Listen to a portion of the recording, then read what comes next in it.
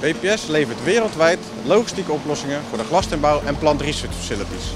Een van de producten die wij maken zijn onze vision systemen waarmee we planten kunnen klassificeren op basis van een aantal planteigenschappen. Zoals hoogte, volume, aantal bloemen, bladoppervlakte en nog veel meer.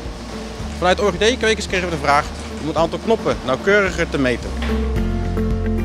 Daarmee zijn we naar TNO gegaan, die hebben we ontmoet tijdens een jaarlijks event.